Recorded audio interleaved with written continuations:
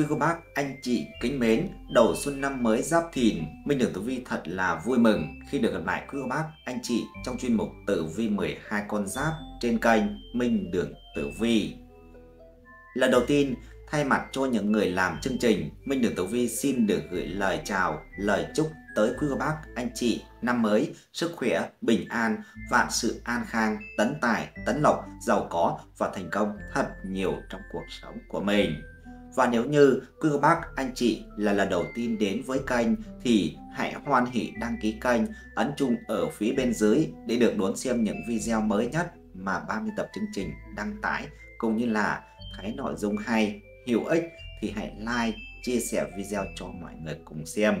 Quý cô bác, anh chị cũng đừng quên để lại ý kiến đóng góp ở phía bên dưới phần bình luận. Kênh Minh Đường Tử Vi chân thành cảm ơn quý cô bác, anh chị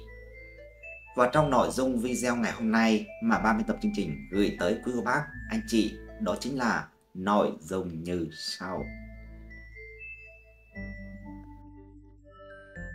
Chấn động, giới tử vi tiết lộ cực chuẩn, đúng tháng 2 và tháng 3 năm 2024 âm lịch, tuổi đinh dậu sinh năm 1957, ăn ở phúc phần, trời Phật độ mệnh, đến thời đổi vận, tiền vàng chật két, khổ mấy cũng đổi đời giàu sang phú quý,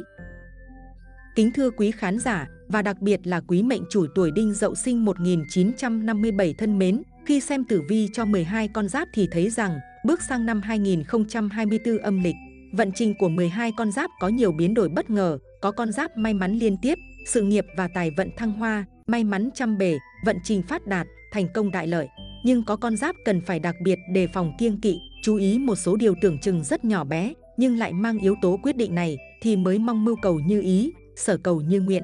Và tuổi đinh dậu sinh năm 1957 là con giáp cần hết sức chú ý, kẻo rước họa vào thân, tiền bạc tiêu tán, gia đạo bất hòa. Vậy, rốt cuộc tuổi này cần phải làm gì để tháng 2 và tháng 3 năm 2024 âm lịch này gặp hung hóa cát, đón thần tài vào nhà, tiền bạc đổ về như thác lũ, đuổi sạch những vất vả, đói nghèo, hưởng may mắn, giàu có và bình an cả một năm thì ngay sau đây sẽ là luận giải tử vi chi tiết. Xin mời quý khán giả hãy cùng chú ý theo dõi để không bỏ lỡ cơ hội đổi đời của mình quý khán giả nhé. Đầu tiên là tổng quan về tính cách và vận trình cuộc đời của tuổi Đinh Dậu sinh năm 1957. Nam mệnh và nữ mệnh tuổi Đinh Dậu sinh năm 1957 hay còn gọi là độc lập chi kê, tức là gà độc thân, ngũ hành, sơn hạ hỏa, tức lửa dưới núi, cung phi đoài, tướng xương con gà, tướng tinh con khỉ. Đinh Dậu sinh năm 1957, mang đầy đủ tính cách của Thiên Can Đinh. Người Thiên Can Đinh là âm hỏa, tính chất của họ đều là những người có tính cách ngoài lạnh, trong nóng, nhu trung, hữu cương. Khi nhìn bề ngoài, mọi người thường đánh giá họ có tính cách trầm tĩnh, mềm dẻo, nhưng bên trong người họ lại có một mặt tính cách sôi nổi và cứng rắn, trái ngược với những gì họ thể hiện ra bên ngoài. Đặc biệt, họ tế nhị nhưng hay đa nghi và lặng lẽ quan sát mọi người, trong đầu họ có nhiều tâm tư, tính toán và hay suy tính lung tung, Đinh Dậu có khả năng truyền cảm hứng và kỹ năng lãnh đạo khá tốt. Nhờ khả năng nhìn nhận sự việc từ nhiều góc cạnh khác nhau, Đinh Dậu có thể bỏ qua sự khác biệt nhỏ trong khả năng của mỗi người, trong khi vẫn giữ mục tiêu cao cho riêng mình. Phẩm chất này, cộng với sức sáng tạo, tài năng và lòng can đảm, giúp Đinh Dậu trở thành những nhà lãnh đạo xuất sắc. Họ tạo niềm cảm hứng cho những người khác thông qua tính tổ chức và đạo đức trong công việc bằng đôi mắt tinh anh Họ biết cách phát hiện những yếu tố giúp kéo mọi người lại gần nhau hơn. Đinh Dậu là người sắc sảo, hóm hình, tài năng và quyết đoán. Họ thích phiêu lưu và không ngừng tìm kiếm những miền đất mới để thám hiểm và thử thách chính mình. Thường thì họ sẽ thành công nhờ trí thông minh và sự hợp lý. Người tuổi đinh dậu ít khó tính hơn, họ sẽ không cân nhắc quá kỹ các chi tiết, mà tập trung vào toàn cảnh, tất cả trong công việc lẫn trong quan hệ. Điều này giúp họ ít bỏ lỡ các cơ hội quan trọng trong cuộc đời hơn. Đa số đinh dậu gặt hái được nhiều thành công nhờ sự thông minh của mình, tính cách kín đáo và sự kỳ vọng quá cao ở những người khác khiến đinh dậu không thích giao du với quá nhiều loại người. Hành hỏa mang lại tính chủ động và sự nhiệt tình, giúp đinh dậu cởi mở hơn, giao tiếp rộng rãi hơn, họ có thể hòa đồng với nhiều loại người hơn so với các tuổi dậu còn lại. Tuy tuổi dậu mang trong mình tính cách kín đáo, không thích giao du với nhiều loại người, nhưng mà hành hỏa lại mang tới cho họ sự nhiệt tình và chủ động, giúp cho đinh dậu có thể cởi mở hơn. Bên cạnh đó, hành hỏa cũng ảnh hưởng không nhỏ tới tác phong của đinh dậu, cụ thể là họ khá chú ý tới phong cách của mình và coi vẻ ngoài là tài sản quý giá, cần phải chăm chút thường xuyên. Điều đáng khâm phục ở người tuổi đinh dậu là luôn phấn đấu hết mình để vươn lên những đỉnh cao trong sự nghiệp, họ dũng cảm, ưa thử thách. Vì vậy rất thích hợp để theo đuổi những công việc áp lực cao. Nếu là nhân viên, với khả năng làm việc độc lập của mình, họ có thể đạt được thành tích cao trong công việc. Họ yêu nghề, tự giác và có trách nhiệm cao. Chính vì vậy, cấp trên luôn hài lòng về kết quả mà họ đạt được và ghi nhận những đóng góp của họ. Những người tuổi đinh dậu có khả năng thích ứng rất tốt, họ có thể sống ở bất cứ đâu, trong bất cứ hoàn cảnh nào. Chính vì lý do này mà những người này không hề sợ thay đổi và thậm chí họ muốn có sự thay đổi bởi vì đó là lúc họ thấy rõ điểm mạnh của bản thân khi thích ứng với hoàn cảnh. Ngoài ra, với tính cách tuổi đinh dậu ưa khám phá, họ cũng thích mạo hiểm, thích đi lang thang, thích di chuyển đi đây đi đó, họ ghét cãi vả, không thích sự bất hòa. Mỗi khi điều đó xảy ra, họ lặng lẽ bỏ đi, cho dù đó là một cuộc cãi vã có ích, có tính xây dựng đi chăng nữa, trong mắt mọi người, hành động này được xem là trốn tránh vấn đề. Nhược điểm không nhỏ của những người này là họ nghi ngờ về khả năng làm vừa lòng người khác của mình, họ không chắc chắn về việc mình có quyến rũ không, vẻ ngoài của mình có được đẹp không, sự tự tin mình thể hiện như vậy có ổn không, thế nhưng họ không bao giờ muốn bộc lộ nỗi lo sợ này ra ngoài. Người tuổi đinh dậu luôn tỏ ra rằng mình đầy kiêu hãnh, tự tin rằng mình hoàn hảo, đó là lý do nhiều người nhận thấy họ quá kiêu căng. Nếu họ điều chỉnh tính này càng sớm càng tốt, thì cơ hội thành công đến với họ cũng dễ dàng hơn. Đinh Dậu thuộc mẫu người rất tự tin, họ thường không chủ động trong đời sống tình cảm mà luôn chờ người khác theo đuổi, nhìn bề ngoài. Họ dường như không hề lo lắng đến việc họ có hay không có một tình yêu chân thành, tất cả mọi chuyện đến với họ có phải là giả tạo hay không. Thế nhưng, trong thâm tâm họ, vừa là những người theo chủ nghĩa lãng mạn, lại cũng vừa là những người theo chủ nghĩa lý tưởng. Họ luôn tin tưởng rằng mình sẽ có được một tình yêu lâu bền. Luận giải tử vi thấy rằng Tuổi đinh dậu có cuộc sống tiền vận và trung vận không được thuận lợi, chỉ khi bước sang hậu vận thì mới được hưởng sang giàu, quyền quý. Khi tuổi còn trẻ, cuộc sống gặp nhiều trắc trở, đến khi bước vào trung vận, sự nghiệp mới được vẹn toàn, công danh của đinh dậu có lên cao, có tạo được nhiều tên tuổi cho đời. Tuy nhiên, luôn luôn phải cẩn thận vì số luôn bị phản bội, sự nghiệp được vững chắc vào tuổi 37 trở đi, tiền bạc có nhiều tốt đẹp, tạo được sự sống cao sang quyền quý.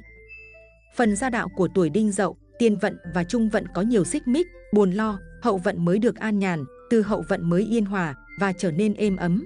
Sau đây sẽ là những diễn biến chi tiết về vận trình tuổi đinh dậu sinh 1957 trong tháng 2 và tháng 3 năm 2024 âm lịch, cụ thể qua các phương diện chính như sau.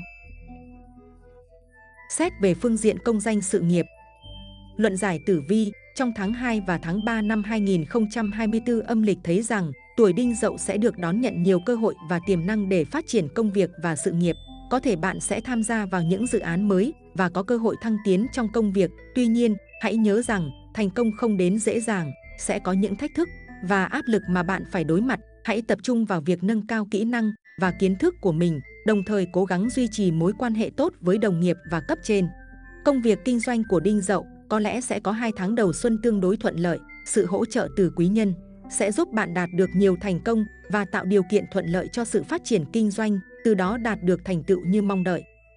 Nhìn chung, bước sang độ tuổi 68, sự nghiệp của Đinh Dậu đã có sự ổn định và đạt được những thành tựu nhất định. Bạn chỉ quan tâm đến vấn đề là làm sao để duy trì được những thành quả ấy và để lại làm nền tảng cho con cháu phát triển sau này. Đối với Đinh Dậu, đây đã là thời gian nghỉ hưu, tỉnh dưỡng, nhưng là người chăm chỉ, cần cù nên vẫn làm những công việc nhẹ nhàng, an toàn, vừa để tinh thần thoải mái, lại tốt cho sức khỏe. Xét về phương diện tài lộc Luận giải tử vi cho thấy, trong thời điểm tháng 2 và tháng 3 năm 2024 âm lịch, tình hình tài lộc của Đinh Dậu không có nhiều biến động, bản mệnh vẫn duy trì được khoảng lương hưu, tiền lời lãi, tiền tiết kiệm trước đó. Bên cạnh đó, mệnh chủ cũng không cần phải chi phí quá nhiều, con cái lại quan tâm nên túi tiền thỉnh thoảng lại có những niềm vui bất ngờ do được con cháu biếu tặng. Nhìn chung, túi tiền lúc nào cũng rủng rỉnh, một số người làm đầu tư kinh doanh có những bước tiến vững vàng trên con đường tài lộc. Tuy không kiếm được bộn tiền, nhưng số tiền đổ vào túi cũng rất ổn định, mệnh chủ không phải lo đến chuyện thua lỗ, vay mượn người này người khác. Nếu sống tiết kiệm, chi tiêu hợp lý thì bạn sẽ có những khoản tiền tiết kiệm dư giả trong năm 2024 này. Khoản dự trữ này rất cần thiết để mệnh chủ có một cuộc sống an lạc, thư thả, chủ động hơn. Xét về phương diện tình cảm, gia đạo phương diện gia đạo của Đinh Dậu trong tháng 2 và tháng 3 năm 2024 âm lịch được hòa thuận, vui vẻ, là người lớn tuổi trong gia đình. Mệnh chủ luôn cư xử chuẩn mực để làm gương cho con cháu, chính vì thế nên rất có tiếng nói trong gia đình và được mọi người kính nể. Ở tuổi 68, cũng là thời điểm đinh dậu nên dành nhiều thời gian hơn cho gia đình, bởi suy cho cùng, gia đình mới là sự nghiệp quan trọng nhất trong cuộc đời mỗi người. Những bữa ăn tối thân mật, những cuộc trò chuyện, chia sẻ, thấu hiểu nhau sẽ giúp mọi người trong gia đình gần gũi, gắn kết với nhau hơn. Xét về phương diện sức khỏe Ở độ tuổi này, sức khỏe của Đinh Dậu đã xuất hiện những dấu hiệu lão hóa, thi thoảng gặp những thay đổi trong cơ thể, đau ốm vặt, nhưng mệnh chủ không được chủ quan mà phải đi thăm khám sức khỏe định kỳ. Trong 2 tháng sau Tết 2024 âm lịch này, mệnh chủ nên giữ cho mình một tâm trí thành thơi, ăn uống đầy đủ dinh dưỡng, nghỉ ngơi điều độ để có một sức khỏe tốt nhất, đồng thời cũng có thể tham gia các khóa thiền định, tập luyện dưỡng sinh để làm đẹp đời sống tinh thần. Sau đây sẽ là luận giải về lá số tử vi của tuổi Đinh Dậu sinh 1957 trong tháng 2 và tháng 3 năm 2024 âm lịch, cụ thể như sau. Tử vi tháng 2 năm 2024 âm lịch, tuổi Đinh Dậu sinh năm 1957. Tuổi Đinh Dậu sinh 1957, luận giải tử vi cho thấy luôn có những kẻ tìm cách hạ bệ mệnh chủ bằng những lời không hay. Nhưng nếu bạn phản ứng thái quá thì sẽ bất lợi cho bản thân, do đó nên biết kiểm soát cảm xúc của mình nhé. Về phương diện công việc, sự nghiệp được chính quan tương trợ nên vận trình sự nghiệp của Đinh Dậu không có gì đáng lo ngại. Mệnh chủ làm gì cũng được rất nhiều người hỗ trợ, giúp đỡ nhiệt tình. Vận trình công việc của mệnh chủ nhìn chung khá suôn sẻ, những ai có công việc có thể hoàn thành nhiệm vụ từng bước một, có vẻ cấp trên đang cân nhắc cho một vị trí mới sau những thành tựu mà bạn đã đạt được. Thiên hình nhắc nhở Đinh Dậu, hãy bỏ ngay sự cao ngạo của mình, có thể vì ai đó cố gắng tấn công bạn bằng những lời chỉ trích nên bạn nổi nóng và mất kiểm soát. Xét về phương diện tài lộc, tháng sau Tết âm lịch của năm mới 2024, người tuổi đinh dậu đầy hứng khởi trong đầu tư kinh doanh, tuy nhiên nên thận trọng trước mọi lựa chọn. Đây không phải là thời điểm tốt để sử dụng đồng vốn cho các hoạt động không rõ ràng, hãy để một thời gian, sau khi bình tĩnh hơn, thì mới ra quyết định kế hoạch, nên tìm hiểu đầy đủ thông tin, biết mọi thứ một cách ngọn ngành, thì việc đầu tư kinh doanh mới thuận lợi hơn. Thời gian này, Đinh Dậu sẽ có một khoản lớn cần chi, hãy chủ động đồng tiền là tốt nhất. Nếu có chút rắc rối xảy ra thì nên xử lý sớm khi chúng còn nhẹ nhàng. Nếu không tập trung xử lý thì thật khó để dành tâm trí cho chuyện khác. Vì vậy, tốt nhất là tập trung giải quyết công việc hiệu quả đã nhé. Xét về phương diện sức khỏe, nhắc nhở Đinh Dậu nên quan tâm chú ý tới sức khỏe của người thân trong gia đình, nhất là người già, các vấn đề thường gặp phải như cao huyết áp, bệnh về hệ hô hấp hoặc dạ dày. Hãy cho bản thân thời gian nghỉ ngơi và chữa lành, cũng như xu tan sự tiêu cực bấy lâu, nghỉ ngơi là điều cấp thiết, mọi cảm giác khác như lo lắng hay cảm thấy có lỗi, chỉ vô ích. Vào lúc này, hãy tạm thời gác những muộn phiền sang một bên, trong các cuộc vui, mệnh chủ có xu hướng uống nhiều rượu bia, không nên tự mình điều khiển xe, kẻo gây tai nạn giao thông nhé. Tử vi tháng 3 âm lịch năm 2024, tuổi Đinh Dậu sinh năm 1957. Xem tử vi cho thấy, công việc của Đinh Dậu thiếu tính đột phá, lại dễ xảy ra xung khắc với những người làm việc chung. Tuy là không có ý hại người, nhưng dễ bị người hại, khiến tiến trình bị ảnh hưởng nghiêm trọng. Về phương diện công việc, sự nghiệp, bước sang tháng 3 âm lịch, Đinh Dậu bị cục diện tương xung khắc chế, khó có thể phát huy năng lực, cũng như mong muốn của bản thân, lại thường vướng phải những rắc rối từ trên trời rơi xuống, nên khó khăn trồng chất khó khăn. Khối lượng công việc ngày một nhiều, đòi hỏi các bác phải tập trung tinh thần cao độ, bằng không, sẽ phạm sai lầm, ảnh hưởng uy tín. Tháng này, mệnh chủ còn có thể được giao trọng trách nào đó khó nhằn, phải tốn nhiều công sức và thời gian để giải quyết mà vẫn không nhận được sự giúp đỡ từ người khác. Do bị hung tinh ảnh hưởng, mệnh chủ không có ý hại người, nhưng lại dễ bị người hại, mưu sự không thuận lợi, ngay từ đầu phải hết sức kiên nhẫn, công việc thiếu tính đột phá, lại dễ xảy ra xung khắc với những người làm việc chung, khiến tiến trình bị ảnh hưởng nghiêm trọng. Cụ thể, vận trình công việc của Đinh Dậu trở nên xa sút do xuất hiện tiểu nhân quấy phá. Các mối quan hệ xã giao giữa mệnh chủ với đồng nghiệp, bạn bè và cấp trên, thiếu sự hài hòa là nguyên nhân chính khiến bạn vướng vào rắc rối, thị phi, thậm chí cảm thấy cô đơn. Lạc lõng trong tập thể, dù bản thân luôn tâm niệm, không xen vào chuyện không liên quan đến mình, nhưng luôn bị kéo vào vòng xoáy cạnh tranh, đấu đá một cách vô tình, đến khi nhận ra thì sự đã rồi. Một phần cũng do tháng này Nguyệt lệnh lâm bệnh, nên tâm lý lại càng bất ổn hơn, có xu hướng tự thu mình lại, tránh đám đông, tâm tư tình cảm không thoải mái. Cũng là một nguyên nhân kéo hiệu quả công việc giảm sút, thậm chí rất dễ tuột khỏi tay mối làm ăn hời, hậu quả khôn lường. Do đó, hãy nên chú ý kiểm soát cảm xúc tốt hơn, suy nghĩ tích cực hơn. Để sớm thoát khỏi mớ bồng bông này, hãy tạm chấp nhận cuộc sống thực tại, nghĩ thoáng về tương lai, hướng tới điều tốt đẹp thì tinh thần sẽ thoải mái hơn nhiều, không còn quá bế tắc nữa.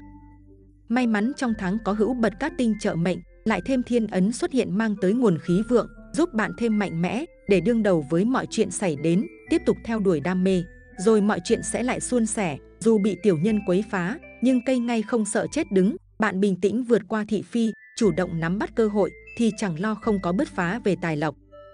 Tử vi tháng 3 âm lịch cho thấy, phương diện tài lộc cũng là một nỗi lo không nhỏ của đinh dậu trong tháng này, nguồn thu chính chững lại, trong khi đó hầu như không có nguồn thu phụ. Mọi chi phí trong tháng đều phụ thuộc vào đồng lương chính, tinh thần làm việc thiếu tập trung, lại bị bị chi phối bởi rất nhiều chuyện bên lề, cũng như ảnh hưởng sức khỏe, khiến bạn khó tập trung làm tốt mọi việc, dẫn tới kết quả không thành, thậm chí mất mát tiền của, các dấu hiệu phá tài càng thêm rõ ràng khi bị đại hao chiếu mệnh. Điềm báo cho thấy bạn sẽ bị lừa gạt, chịu tổn thất nghiêm trọng. Đã vậy, con đường kinh doanh, kiếm tiền, làm giàu của bạn dễ bị ngáng trở, trong tháng có thể phát sinh không ít rắc rối. Liên quan đến con người cũng có, pháp luật cũng khó tránh. Do đó, mệnh chủ cần thận trọng khi ký kết các loại giấy tờ, văn bản, giao kèo, đừng để sai một ly đi một dặm, rất dễ phạm sai lầm lớn.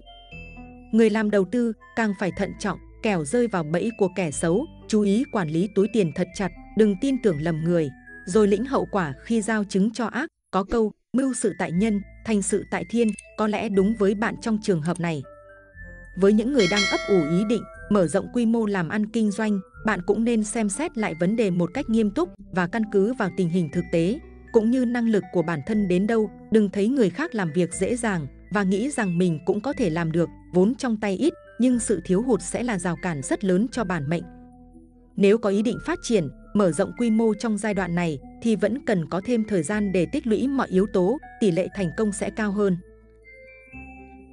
Quý khán giả thân mến, cuộc sống không có gì bằng sự bình yên và hạnh phúc. Bên trong thứ đắt giá nhất của cuộc đời này không phải là tiền bạc hay địa vị, mà là thời gian, sức khỏe gia đình, bạn bè và biết mãn nguyện với cuộc sống hiện tại. Thời gian là của cải quý giá nhất trong cuộc đời, vì vậy hãy trân trọng thời gian, nắm bắt từng giây từng phút để sống hết mình, vì chúng ta chỉ có cuộc đời này. Sức khỏe là vốn quý nhất của đời người, sức khỏe tốt là nền tảng của mọi thứ, không có sức khỏe thì không thể làm gì. Vậy nên đừng lười nhác, hãy tập thể dục khi đến giờ tập thể dục, đừng lười nhác liên tục đến những việc nguy hiểm cho sức khỏe, khiến cho cuộc sống trở thành một mớ hỗn độn.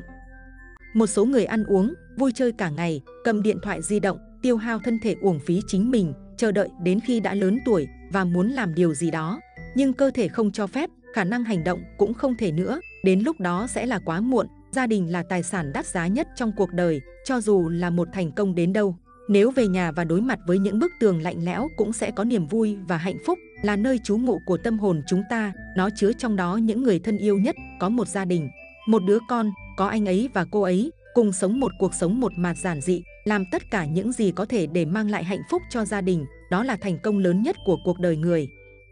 Nụ cười là báu vật quý giá nhất trong đời, hãy luôn nở nụ cười trên môi, để nỗi buồn bay theo gió, đừng để mọi thứ trong lòng. Đối xử tử tế với bản thân, vì cuộc đời không dài mà rất ngắn, chỉ bằng cách có những cảm xúc tốt, chúng ta mới có thể có một cuộc sống tốt. Nếu chúng ta có thể nghiêm khắc với chính mình, làm cho bản thân luôn mỉm cười, ném những rắc rối vào trong đó, có một tâm trạng tốt, mọi thứ sẽ trở nên đẹp đẽ hơn. Tình bạn là lời hứa đắt giá nhất trong đời, dù có quen biết bao nhiêu người cũng không bằng một tri kỷ, có được một bạn tâm giao chính là điều quý giá của đời người. Khi bạn cô đơn, có người ở bên, trái tim vững chắc, khi bạn hoạn nạn có người an ủi đó là hạnh phúc, khi khó khăn có người giúp một tay đó là mãn nguyện. Chúng ta có sức khỏe, có gia đình, có người yêu thương đồng hành, có con cái bình an, có bạn bè tốt, đây là cuộc sống mãn nguyện, giàu có nhất. Vâng, cảm ơn quý khán giả đã theo dõi chi tiết về tử vi tuổi đinh dậu trong tháng 2 và tháng 3 năm 2024 âm lịch. Với những thông tin tử vi trên đây nhằm giúp quý mệnh chủ tham khảo và có thêm sự chiêm nghiệm về cuộc sống. Cổ nhân từng nói, con người là chủ nhân của số phận, khổ đau hay hạnh phúc là do hành động của người ấy quyết định. Nếu biết sống hướng thiện, làm nhiều việc tốt, tu thân tích đức thì hạnh phúc ắt sẽ tự tìm đến. Chương trình đến đây là hết. Xin thân ái chào tạm biệt và hẹn gặp lại trong các chương trình lần sau.